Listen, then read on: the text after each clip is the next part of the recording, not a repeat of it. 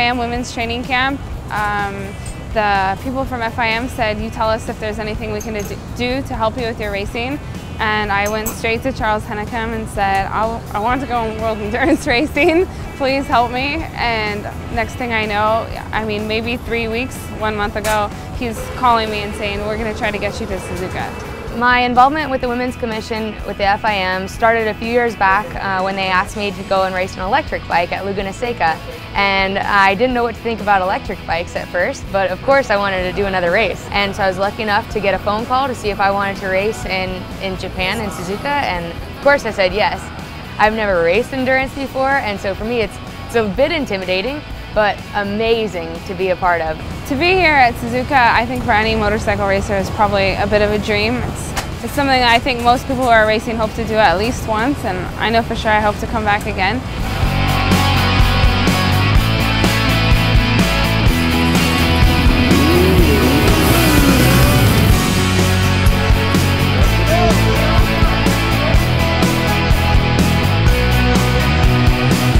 I really feel like people want to see us women succeed. I feel like really there's not much opposition and instead the, the FIM and the teams and the spectators and everybody really has been behind us, which is, it's nice. It's nice to know that you have a cheering section.